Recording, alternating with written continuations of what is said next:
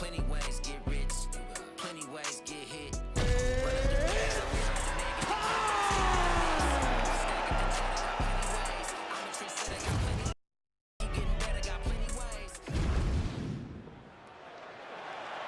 You ready to fight? Ready. Good. Well, you talk about must-see TV. This guy is as watchable as any fighter on the roster. His longtime cornerman, Eddie Bravo, says he'll train six hours straight. Tonight, we're scheduled for three five-minute rounds. Nobody is going to out-condition El Cucuy. Tony first. Fighting behind a nice jab. Oh, my goodness, these boys are going at it. Some real power shots here.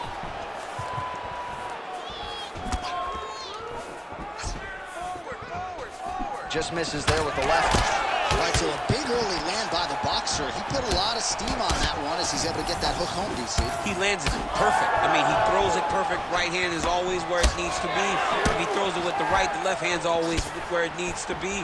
It's tight, it's crisp, and it lands with a lot of power. Oh, nice. While this striker knows one direction, that is forward. He knows one style, that is aggressive, and that's exactly what we've seen tonight. He has every intent of overwhelming every guy he steps into the octagon with, and he's doing that up to this point of the first round. All 25 total strikes have landed for Max Holloway. Dude getting active, lands another combination to the head.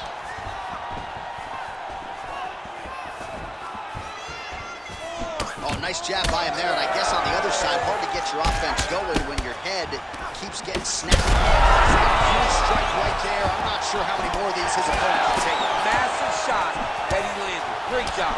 Trading huge shots. Let's see who's going to be the last man standing.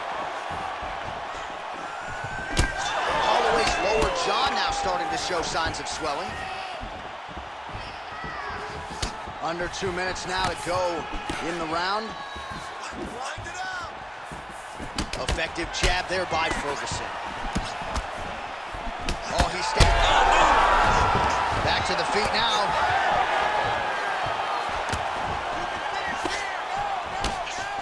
And blocks the shot there.